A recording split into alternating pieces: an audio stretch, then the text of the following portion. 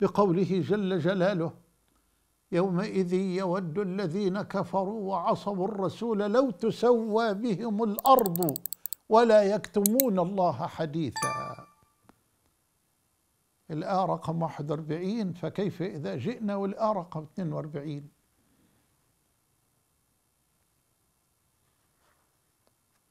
مشهد الخزي والندامة والخجل والمهانة لأولئك الذين كفروا بالله جل وعلا. وعصوا الرسول صلى الله عليه وسلم وتكبروا واختالوا وبخلوا وأمروا الناس بالبخل وكتموا فضل الله وأنفقوا أموالهم رئاء الناس ولم يؤمنوا بالله ولا باليوم الآخر. فها هم واقفون في منتهى الذل والخزي والعار بين يدي الواحد القهار وقد تجلت لهم الحقائق.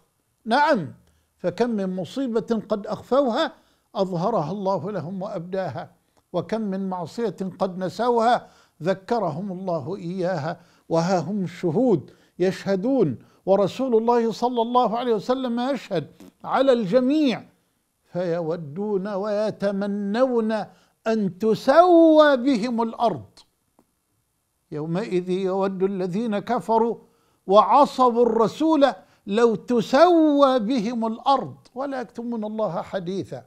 يتمنون أن لو كانوا هم والأرض سواء. قال أبو هريرة رضي الله عنه إذا حشر الله الخلائق إذا حشر الله الخلائق قال للبهائم والدواب والطير كوني ترابا. كوني ترابا. للبهائم والدواب والطير. كوني ترابا. فعندها في هذه اللحظة يتمنى الكافر أن لو كان ترابا. فيقول يا ليتني كنت ترابا.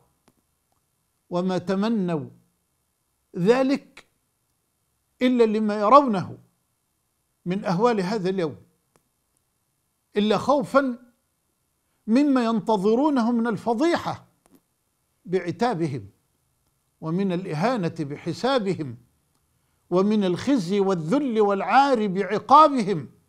ولا يكتمون الله حديثا. لأنه قد ظهر كذبهم وافتضح أمرهم. بعد شهادة الشهود.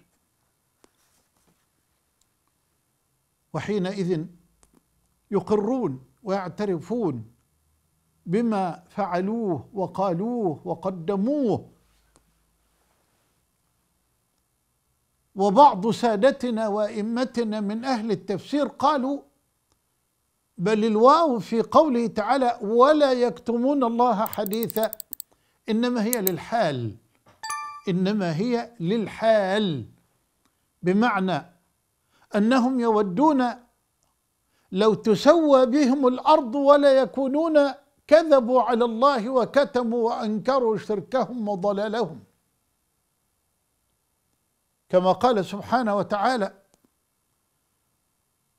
ويوم نحشرهم جميعا. ثم نقول للذين أشركوا أين شركاؤكم الذين كنتم تزعمون؟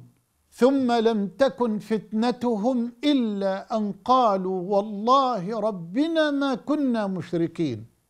انظر كيف كذبوا على أنفسهم وضل عنهم ما كانوا يفترون. لا حول ولا قوة إلا بالله. فهم يكتمون كفرهم وضلالهم وجحودهم في بعض مواطن القيامة. حين يتوهمون أن ذلك قد يمنعهم من عذاب الله جل وعلا فإذا تجلت لهم الحقائق وشهد عليهم الشهود حينئذ يقرون ويعترفون ولا يبقى للكتمان نفع ولا يرجى منه فائدة ولا توجد له أدنى قيمة. ثم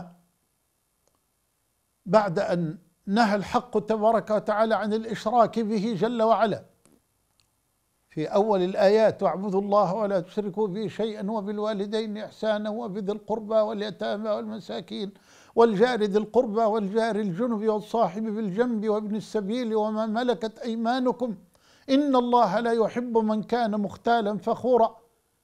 الذين يبخلون ويأمرون الناس بالبخل إلى آخر الآيات العظيمة بعد أن أمر بالإحسان إلى عباده هؤلاء وإلى معاملتهم بمكارم وأحسن الأخلاق. يأمر جل جلاله بإخلاص العبادة. تدبر معي إلى عظمة وجلال القرآن بعد أن أمر بكل هذه الأوامر التي عشنا مع اللقاءات الماضية. يأمر سبحانه وتعالى بعد كل ذلك بإخلاص العبادة. والمحافظة على العبادة من شوائب الكدر وأسباب الخلل والخطل ورأس العبادة الصلاة.